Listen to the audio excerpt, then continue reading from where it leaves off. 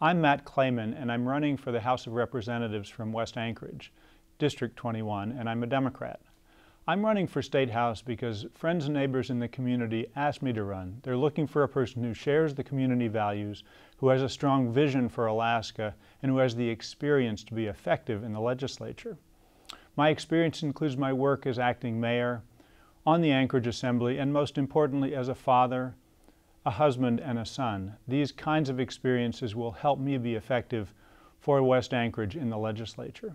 We have a number of values in Alaska that are shared in West Anchorage, and these are shown in the Alaska Constitution.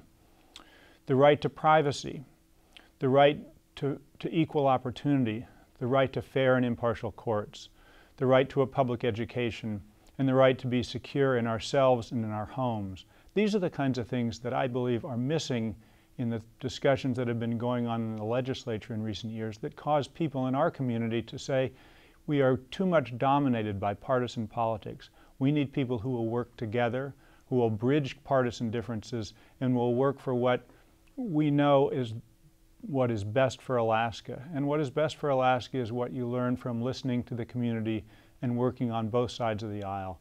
These are the kinds of things that are important to me.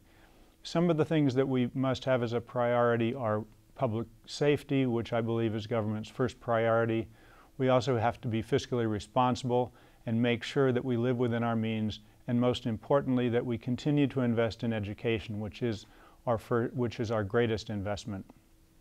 It's a really important election, and when I, when I am in Juneau, I'll be working to make sure we have government of the people, by the people, and for the people.